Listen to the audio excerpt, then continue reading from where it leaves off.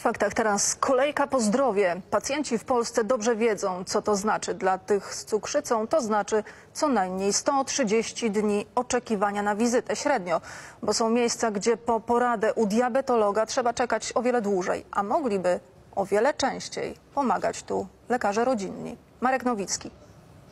To początek kolejki do poradni diabetologicznej w Zabrzu. Ci pacjenci są szczęśliwi, bo będą przyjęci dzisiaj. Kolejni czekają na swoje terminy w domach, a czekać trzeba coraz dłużej. Tak jest w całej Polsce. Dzwonimy do kilku wybranych gabinetów. Chciałabym zapytać się do Państwa na wizytę u diabetologa e, i zależy mi na czasie. Kiedy u Państwa są najwcześniej wolne? To są za rok terminy.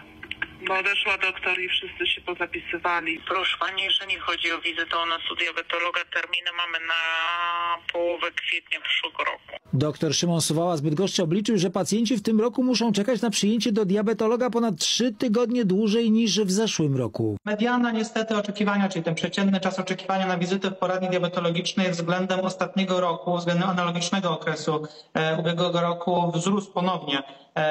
Tym razem wynosi 130 dni, czyli o 24 dni więcej niż w roku e, ubiegłym. A już w ubiegłym roku było źle. W porównaniu do danych z 2017 roku kolejka wydłużyła się aż o 55 dni i nie sposób tego wytłumaczyć tylko pandemią. Profesor Krzysztof Strojek wymienia trzy powody. Po pierwsze, liczba specjalistów.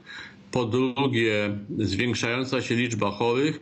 I po trzecie, chorzy chętniej korzystają z opieki specjalistycznej niż z opieki lekarza rodzinnego, mimo że duża część z nich mogłaby być zaopatrzona właśnie w poradniach rodzinnych. Czyli ludzie niepotrzebnie czekają miesiącami do diabetologa, skoro mógłby im leczyć cukrzycę lekarz rodzinny. Coraz więcej lekarzy rodzinnych chce być, e, chce leczyć e, swoich pacjentów w całości, natomiast bardzo często spotykamy się z pacjentami, którzy autentycznie oczekują czegoś innego, oczekują wystawienia skierowania i ja już pójdę sobie do e, poradni specjalistycznej.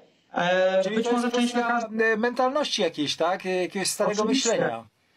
Oczywiście. Myślenia, że specjalista lepiej pomoże niż lekarz rodzinny. Nie pomoże lepiej, jeżeli trzeba czekać do niego w tak długich kolejkach. Rząd też niewiele pomaga, żeby rozwiązać ten problem. Opieka koordynowana w gabinetach lekarzy rodzinnych pojawiła się dopiero w tym roku. Diabetologów brakuje od wielu lat. Rzeczywiście jest to problem ogólnopolski w zakresie wszystkich specjalności. Lekarzy w Polsce jest za mało, zatem również za mało jest diabetologów. W Polsce na cukrzycę choruje ponad 2 miliony osób, z czego 1 czwarta o tym nie wie.